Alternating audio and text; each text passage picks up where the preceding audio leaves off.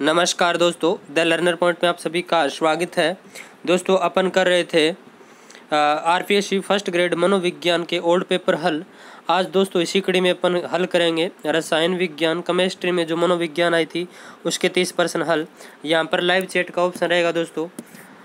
आप उत्तर देने की कोशिश करना, देखते हैं आप कितने से कर पाते हैं। तो पहला प्रश्न आपके सामने स्क्रीन पर।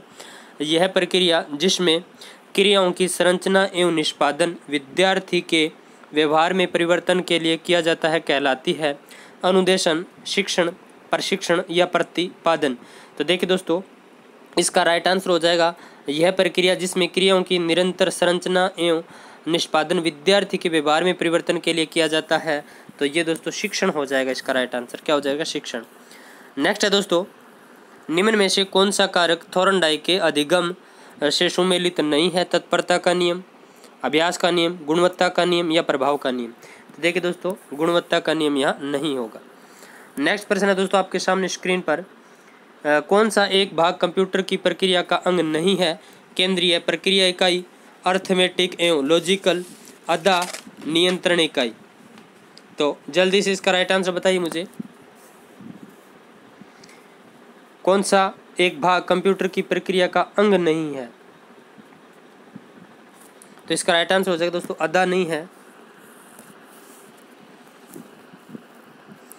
नेक्स्ट प्रश्न है दोस्तों, जब एक शिक्षक विद्यार्थियों को उनकी अधिगम आवश्यकता, आवश्यकताओं के आधार पर पढ़ाता है तथा उनकी अधिगम समस्याओं का समाधान करते हुए अधिगम स्रोतों की ओर ले जाता है तो शिक्षण का स्तर होगा समर्थ स्तर, विमर्शी चिंतन स्तर, रचनात्मक स्तर या बोध स्तर।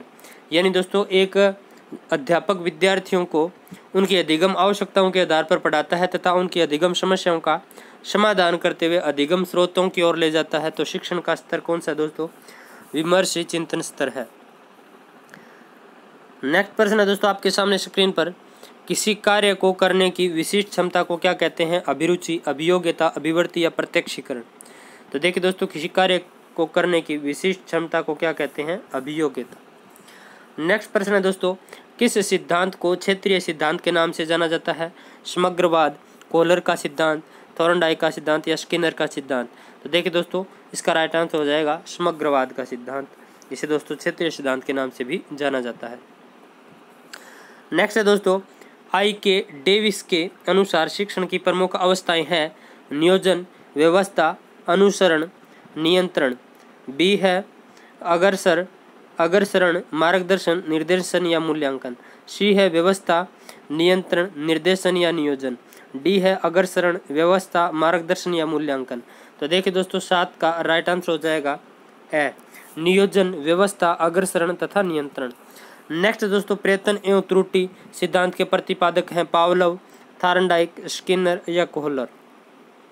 तो प्रयास व त्रुटि के सिद्धांत के प्रतिपादक दोस्तों कौन है?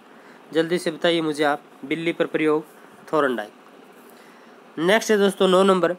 किशोरों के नैतिक विकास के लिए सबसे महत्वपूर्ण कारक है आदर्श पुस्तकें पढ़ने को दें। आदर्श व्यक्तियों को जीवनी के बारे में बताएँ। स्वयं आदर्श प्रस्तुत करें या मित्रवत व्यवहार करें। तो देखिए दोस्तों, नौ का राइट आंसर हो जाएगा। श स्वयं आदर्श प्रस्तुत करें। दस नंबर है दोस्तों, आपके सामने निम्नलिखित में से कौन सा कक्षा कक्ष अधिगम में निर्मितवाद निर्मितवादी पक्ष नहीं है? विद्यार्थी समूह में कार्य करते हैं। शिक्षक विद्यार्थियों से संवाद रखता है। पाठ्य पुस्तक एवं अभ्यास पुस्तक आधारित अधिगम या अंत्यक्रिया पूर्ण अधिगम। तो देखिए दोस्तों, दस का राइट आंसर क्या हो जाएगा? स। पाठ्य पुस्तक एवं अभ्यास पुस्तक आधारित अधिगम। ग्यारह नंबर है दोस्तों, निम्नलिखित में से कौन सा सिद्धांत किशोरावस्था के विकास से संबंधित नहीं है? मनोविश्लेषण सिद्धांत, सुलेवान का अंतर्व्यक्तिक सिद्धांत, एरिक्सन का सिद्धांत या हल का सिद्धांत? तो दोस्तों इसका आरपीएस ने डिलीट किया था प्रश्न, पता नहीं रीजन क्या है। नेक्स्ट है। नेक्स्ट है।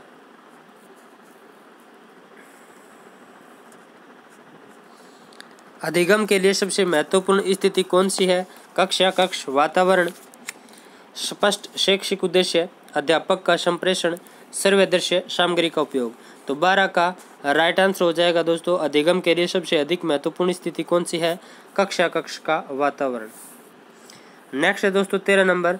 जब एक विद्यार्थी स्वयं की असफलता का दोष असयोगी कारकों को देता है, जिससे उसके अवांछन अवांछित व्यवहार से ध्यान हट जाए तो यह क्या कहलाता है? उदातीकरण दमन, तादात्मिकरा या तादात्मीकरण या प्रक्षेपण।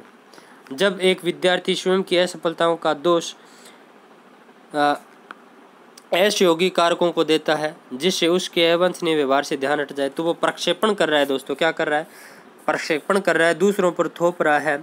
जैसे एक बच्चा फैल आ गया तो बोलता है कि, टीचर ने अच्छा पढ़ाया नहीं। मतलब वो थोप रहा है।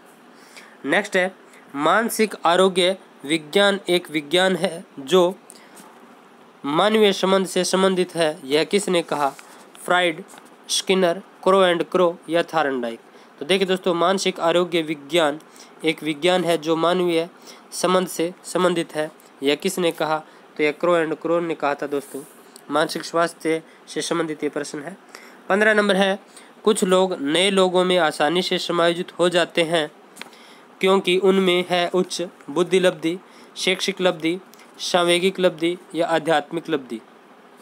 तो देखिए दोस्तों, कुछ लोग नए लोगों में आसानी से समायोजित हो जाते हैं, क्योंकि उनमें दोस्तों क्यू इमोशनल क्वेश्चन दोस्तों उच्च है, सांवेगिक बुद्धि उच्च है। नेक्स्ट है दोस्तों, आगमन चिंतन आगमन चिंतन शिक्षण प्रतिमान के प्रतिपादक हैं डेविड आसुबेल, हिल्दा तांबा रॉबर्ट ग्लेशर या जेरोम ब्रूनर। तो देखिए दोस्तों, सोलह का राइट आंसर हो जाएगा। आगमन, चिंतन, शिक्षण, प्रतिमान। तो आगमन, चिंतन, शिक्षण, प्रतिमान के प्रतिपादक दोस्तों हिल्दा तांबा हैं। नेक्स्ट प्रश्न है निम्नलिखित में से कौन सी वस्तु सॉफ्टवेयर तकनीक में सम्मिलित नहीं है? Flash card opaque projector poster या कार्टून तो दोस्तों सत्रह का राइट आंसर हो जाएगा। Opaque projector. नेक्स्ट, अठारह नंबर, एक आठ वर्षीय बालक अपने छोटे भाई की तरह घुटने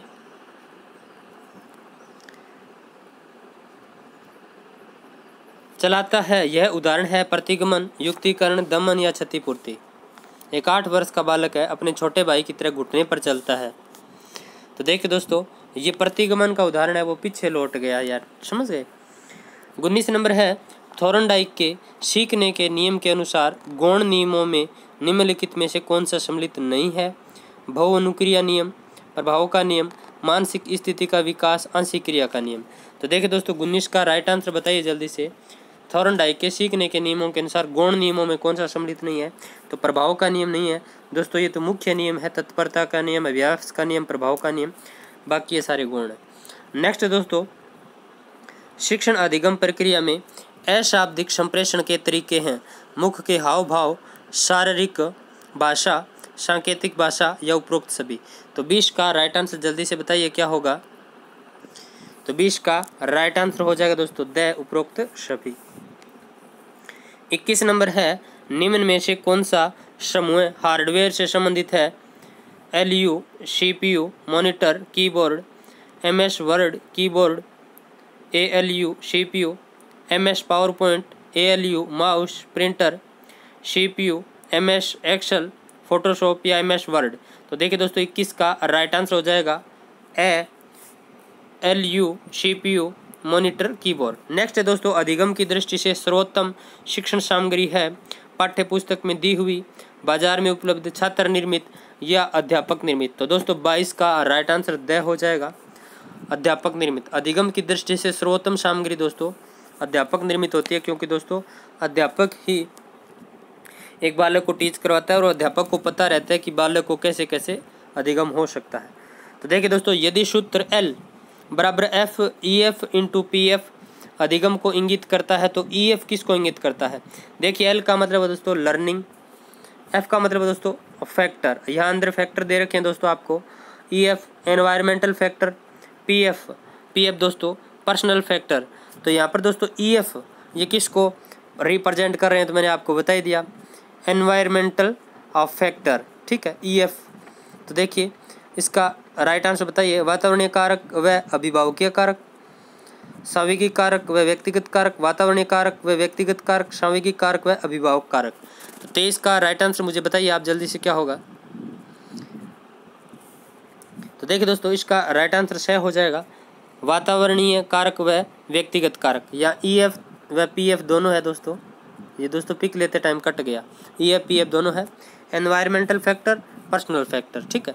नेक्स्ट है, जिस कंप्यूटर के द्वारा ईमेल की सुविधा प्राप्त होती है, उसे क्या कहते हैं? मल्टीमीडिया इंटरनेट इंटरनेट या सर्विस प्रोवाइडर तो दोस्तों, ये डिलीट किया गया प्रश्न नेक्स्ट है स्व प्रत्यक्षीकरण एवं लोगों के प्रत्यक्षीकरण द्वारा विकसित होती है रुचि, बुद्धि, स्व प्रत्यय, स्व अनुशासन। तो देखिए दोस्तों, पच्चीस का राइट आंसर हो जाएगा। स्व प्रत्यक्षीकरण लोगों के प्रत्यक्षीकरण द्वारा स्व प्रत्यय विकसित होता है सेल्फ कॉन्सेप्ट विकसित होता है। रिपीट हुआ ये प्रश्न दोस्तों, पीछे भी अपने आगे आया। छब्बीस नंबर है, कौन सा प्रतिमान छात्रों को संपर्त्य निर्माण व संपर्त्य पुनर्निर्माण में सहायक है? पूछताछ शिक्षण प्रतिमान, सूचना प्रक्रम प्रतिमान, सहकारी अधिगम अग्रिम संगठन प्रतिमान। तो इसका राइट आंसर द हो जाएगा दोस्तों, अग्रिम संगठन प्रतिमान। सत्ताईस नंबर है दोस्तों, ज्ञान क्या है? ज्ञान अनुभव के व्यक्तिगत निर्वचन का परिणाम। ज्ञान एक व्यक्ति का व्यक्तिगत अनुभव होता है। ज्ञान व्यक्ति के विचारों एवं दृष्टिकोण का संसार में प्रसारण करता है। ज्ञान एक अनुभव है जो उसके व्यक्तित्व को दर्शाता है। तो जल्दी से बताइए तो सत्ताईस का राइट आंसर ए हो जाएगा। ज्ञान अनुभव के व्यक्तिगत निर्वचन का परिणाम होता है। नेक्स्ट प्रश्न है दोस्तों कंप्यूटर के कक्षा कक्ष उपयोग क्या है? कंप्यूटर आधारित अनुदेशन पद्धत विश्लेषण एवं संगणक कंप्यूटर अनुरूपीकरण प्रयोग या उपरोक्त सभी। तो जल्दी से बताइए इसका राइट आंसर क्या होगा? तो इसका राइट आंसर दोस्तों, उपरोक्त सभी हो जाएगा। नेक्स्ट प्रश्न है दोस्तों संपर्त्य उपलब्धि, प्रतिमान के प्रवर्तक हैं प्याजे, ब्रूनर प्याजे, ब्रूनर या आशुबेल या जॉन डीवी संपर्त्य उपलब्धि प्रतिमान के प्रवर्तक हैं। जल्दी से बताइए, क्या होगा इसका राइट आंसर तो इसका राइट आंसर ब हो जाएगा दोस्तों, ब्रूनर। नेक्स्ट प्रश्न है दोस्तों आपके सामने, कौन सा कारक प्रभावी कक्षा शिक्षण में विचाराधीन नहीं होता? तकनीकी की कमी, पृष्ठ पोषण, शिक्षण कार्य नीति व दक्षताएँ संप्रेषण व स्पष्टता का सिद्धांत। तो जल्दी से इसका राइट आंसर बताइए। तो इसका राइट आंसर हो जाएगा दोस्तों तकनीकी की कमी। तो दोस्तों, ये थे तीस महत्वपूर्ण प्रश्न। आई होप ये वीडियो आपको अच्छा लगा होगा। अच्छा लगा तो लाइक करना, अपने दोस्तों में शेयर ज़रूर करना।